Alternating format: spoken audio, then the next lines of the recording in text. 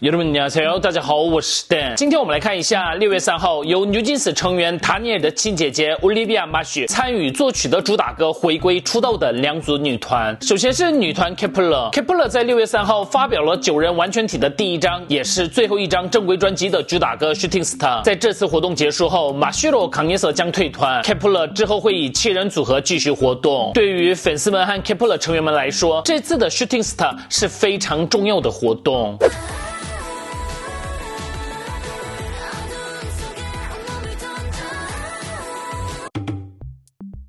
再来是 P P G 的师妹团，也是 Super 出身的人气舞者 Emma，文明恋出身的克洛伊杨，旁观乌森恋出身的 Hugh 允瑟等所属的七人组合新人女团 p e d b i l l 也在六月二号以新曲 p e d b i l l 正式出道了。希望 Kepler 能在音乐节目拿下一位，新人女团 p e d b i l l 也能取得很好的成绩。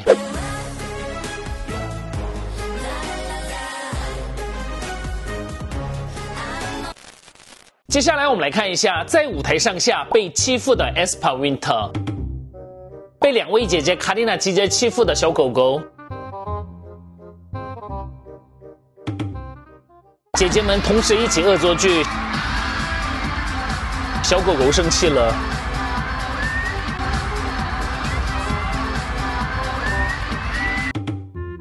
装冤枉的卡蒂娜。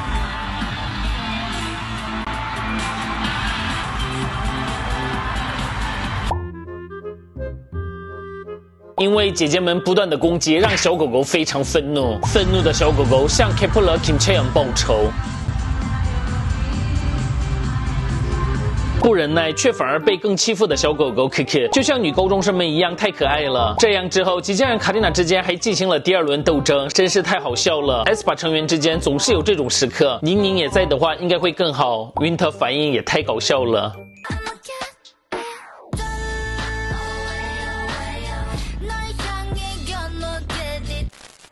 接着我们来看一下出现在 Picture One 影片的他的最新近况。该餐厅于六月三号与媒体采访中表示，A 某已经在这里工作超过一年了，他是我们家的侄子。餐厅老板接着表示，当初雇佣他时，他说会努力生活，所以我们才接纳了他。但知道真相后，觉得他太不知廉耻，让人毛骨悚然，无法再见他的脸，认为这样是不应该的，所以决定让他辞职了。在记者问到 A 某是否承认并反省自己的错误时，餐厅老板回答：“这个我。”我也不知道，而因为在争议爆发后，餐厅还是有继续营业，导致很多网友们在网上进行了零颗星攻击。最终，该餐厅贴出自二零二四年六月三号起，为了扩张和搬迁店铺，暂时休业的公告后，停止营业了。除此之外，该餐厅也被网友们查出是在非法建筑物中经营的餐厅，并向有关单位举报。目前，相关单位已下达整改命令，并将进行拆除程序。我们来看一下韩国网友们的反应：是亲戚却一年前才知道他们的父母还你们的父母不是兄弟姐妹吗？开什么玩笑！你女儿以后说要结婚，但对方知道亲家是